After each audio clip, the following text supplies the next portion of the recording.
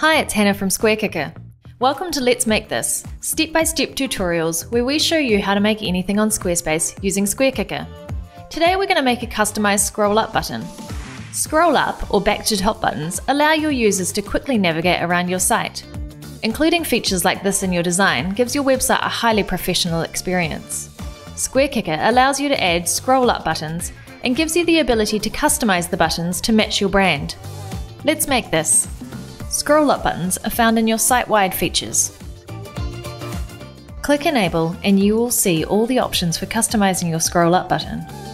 As you scroll down, you will see the button appear in the default position on the bottom right of your screen. You can customize the color of your button and icon. Select your icon. You can see this changing in real time. You can change the position of your button,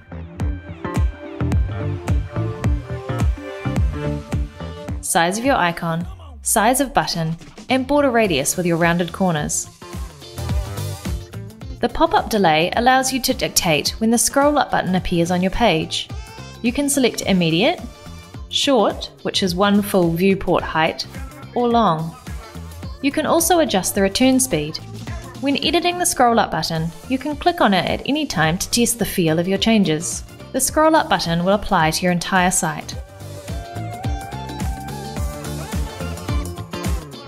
Get started today with a 14 day free trial at squarekicker.com. We can't wait to see what you create.